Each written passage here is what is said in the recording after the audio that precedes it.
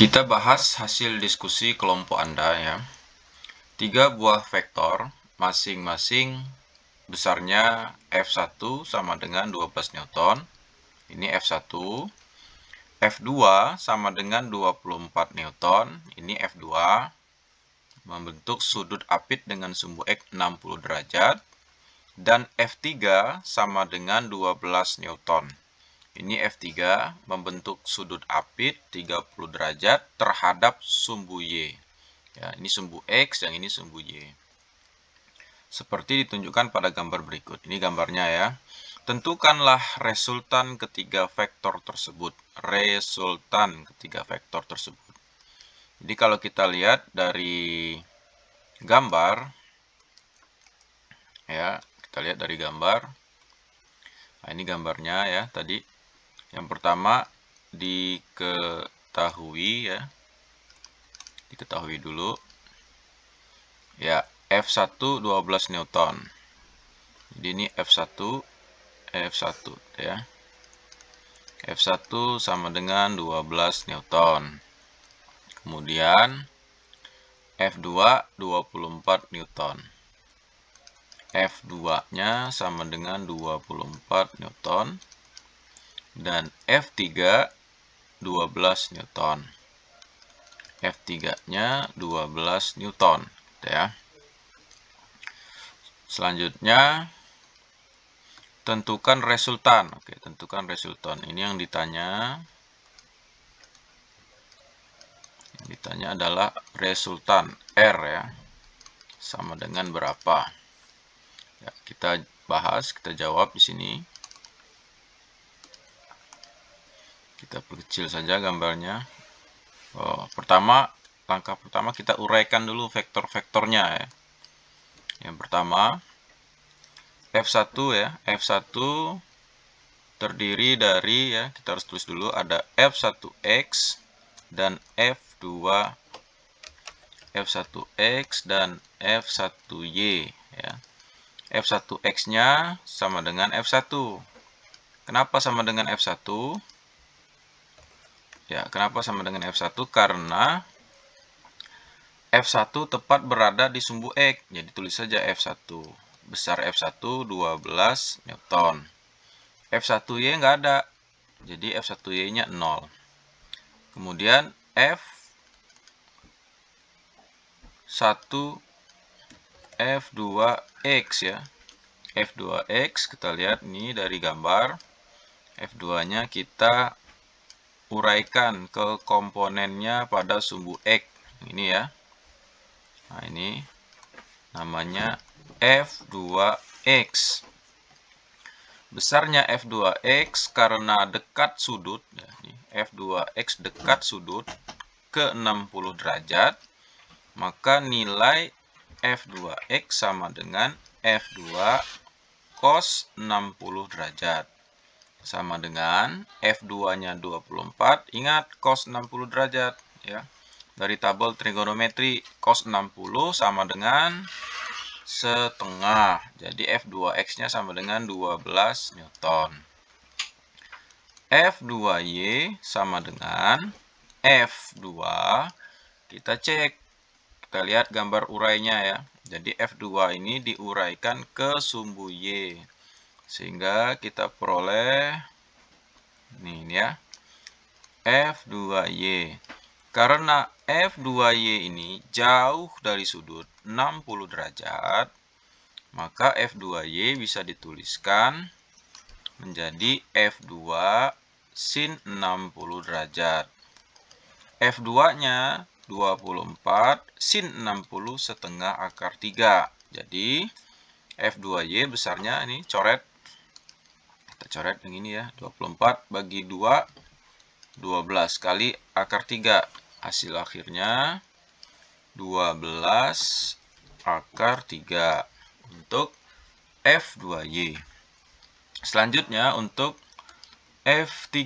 F3 kita uraikan ke sumbu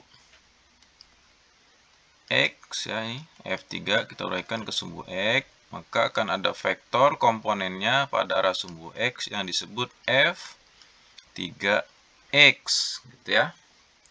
kalau kita lihat F3X ya, F3X itu sama dengan F3 Nih, F3X ini jauh dari sudut 30 derajat ya F3X atau seberang sudut ya. Ini ciri-cirinya nyeberang sudut ya. F3X ini nyeberang sudut ya. Dari F3 F3X jauh dari sudut 30 derajat. Jadi bisa ditulis F3 sin 30 derajat.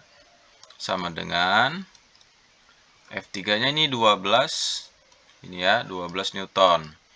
Jadi F3 nya 12 dikali sin 30 setengah sama dengan 2 eh 2 sama dengan 6 Newton ya. Untuk F3Y sama dengan F3 kita lihat di sini F3 dekat sudut ya. Ini F3-nya yang ini ya, friksikan. Nah, ini ya. Nah, ini F3 F3Y F3Y ini dekat sudut dengan 30 ya. Jadi F3Y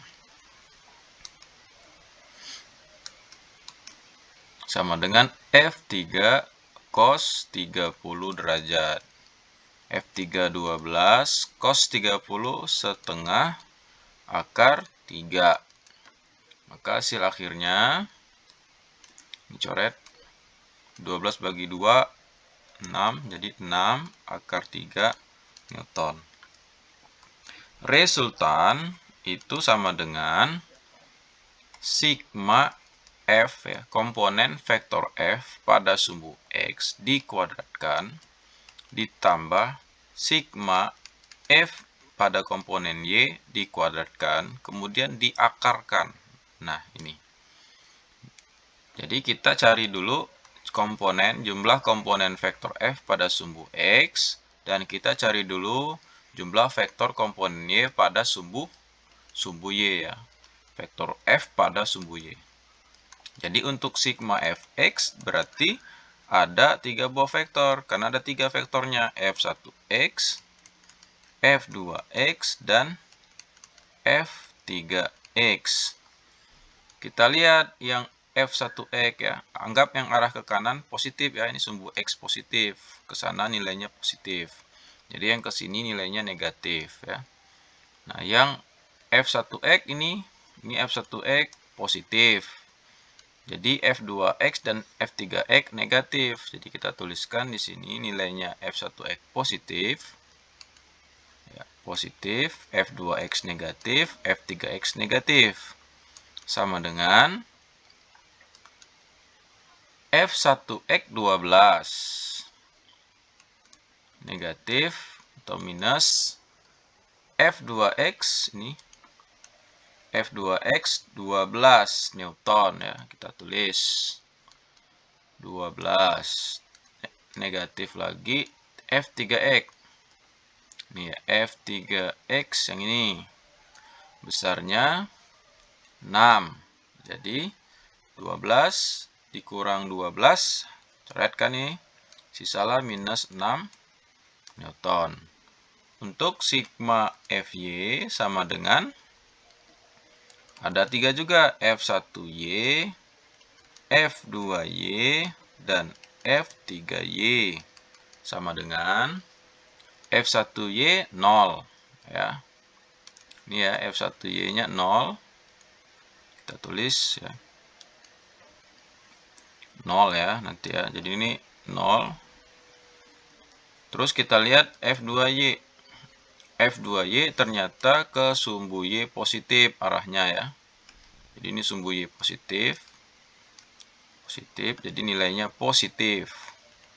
Sedangkan F3Y ke arah sumbu Y negatif. Jadi negatif ya jadi sama dengan F1Y-nya 0 ditambah F2Y 12 akar 3 12 akar 3 dikurang F3Y 6 akar 3. 12 dikurang 6, 6 akar 3 Newton. Gitu ya.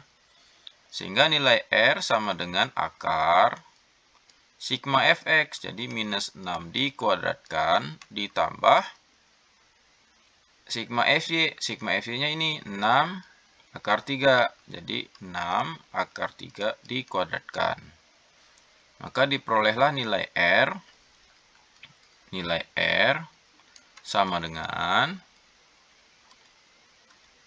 ya akar kita buat akar dulu oke minus 6 dikuadratkan 36 ditambah 6 kuadrat 6 kuadrat 36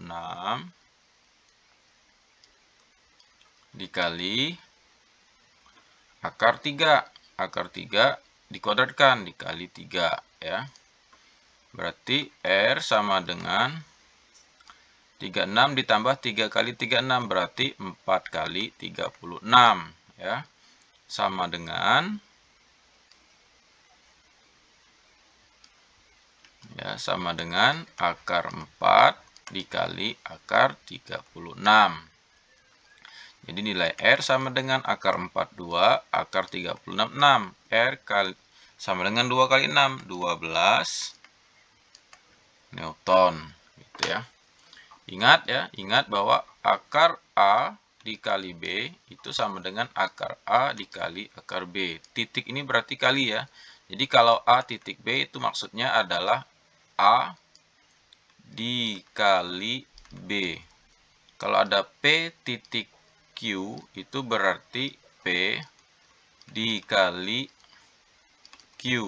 Atau ditulis PQ saja. PQ itu berarti P dikali Q. Itu maksudnya ya. Nah, dalam fisika kadang digunakan tanda titik ya. Jadi kalau misalnya ada EK, EK itu energi kinetik sama dengan setengah MV kuadrat. Maknanya adalah energi kinetik itu sama dengan setengah dikali M dikali V kuadrat. Gitu ya. Demikianlah resultan vektor ya yang kita peroleh besarnya 12 Newton.